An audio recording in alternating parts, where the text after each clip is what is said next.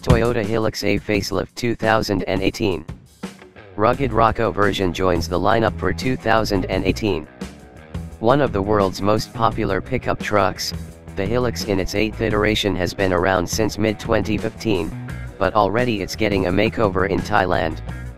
Most of the changes have occurred at the front where the workhorse has received a hexagonal grille inspired by the U.S spec Tacoma, but not as large.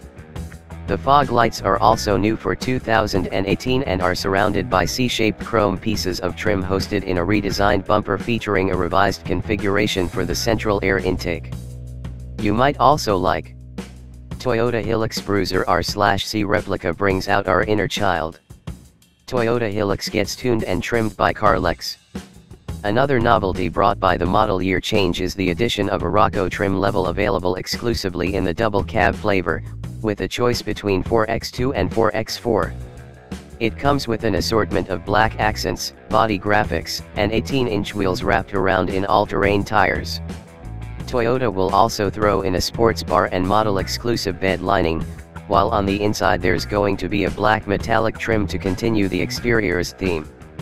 Toyota hasn't made any changes underneath the hood where the 2018 Hilux sold in Thailand is going to be available with the same turbo diesel 2.4-liter engine producing 150 horsepower and 295 pound-feet, 400 newton-meters, of torque or 253 lb-ft, 343 Nm, depending on gearbox selection.